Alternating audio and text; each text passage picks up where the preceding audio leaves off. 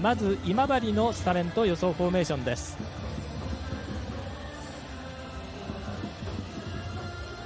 ゴールキーパーが伊藤ディフェンスラインは市原、照山、二見、松本と予想しました。そして中盤の底には久住が入って真ん中には山田と帝前3枚は右にビニシウス左が近藤で中、中川と予想しました。アウェー鳥取のスタメンと予想フォーメーションです。ゴールキーパーは糸原です。ディフェンスラインは田中、増谷鈴木そして石井と入ります。ボランチには普光院と世瀬。右に牛之濱左は今日は小澤が入ります。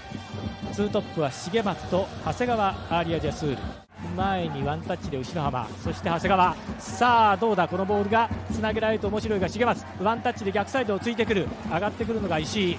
石井中をちらっと見てここで狙ってくるがゴールキーパーの伊藤の正面でした。いい形を作りました鳥取。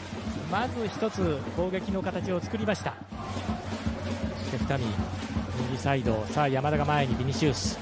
ビニシウス前に行こうというところそしてフォローします。さあ帝帝が中に中側にボールがこぼれるか。シュート決めた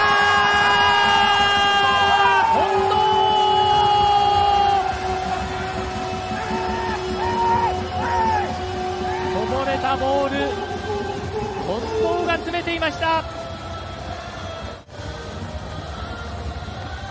まずこの帝中に中川いました。クリアしたボールがこぼれてそして近藤にこのちょうど目の前ボールが入っていきました。今のシーンです。ここで帝。あここで増谷が触ったんですがこれがこぼれていってそしてルーズボールになったところに近藤がいました。近藤今シーズン初ゴール。さあビニシウス。前に中川います。中川が前にビニシウスにボールが入る。ビニシウスシュートを打つか。中川ワンタッチで。松本だ。中まだある。シュート中川。ブロックに合う。ゴールキーパーの糸原を抑えます。してこのボールをまた剥がそうという。あこれ後ろから田中。しかしこのボールさあマイボールにしてビニシウス。ビニシウスが行きます。中には中川。ビニシウスそのままシュートを狙っていく。ゴールキーパーはじくまだビニシウスある。キーパーの糸原。今のシーンです。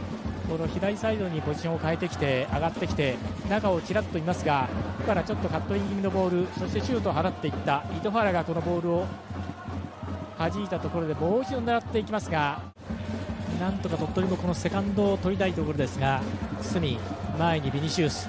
ビニシウスが中に入っていく。そしてシュートを狙っていくがポスト!もう一度まだある。ビニシウス山田!どうだ!決まった!が粘ってそして最後山田が押し込みました。2点目。後半立ち上がり早々ですがまずこのビニシウスと山田でこのシーンです。ビニシウス。中に入っていきます。そしてここから打ったシュートがポスト。跳ね返りもう一度ビニシウス。これを中に山田があちょっとこれリフレクションがありましたか。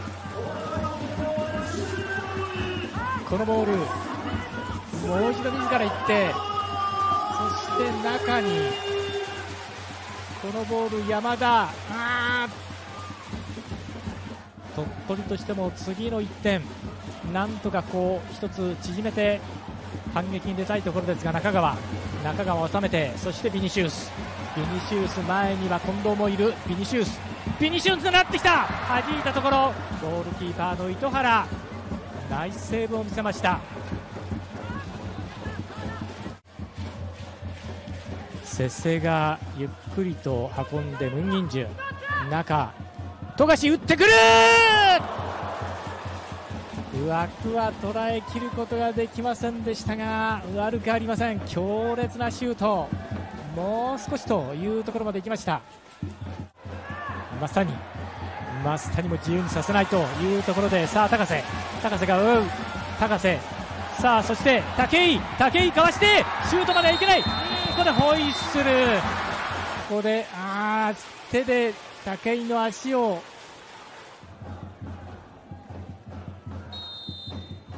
さあ見ましょう。であっと決まったちょっとフェイントをかけるような感じでこのトゥルが PK を決めました。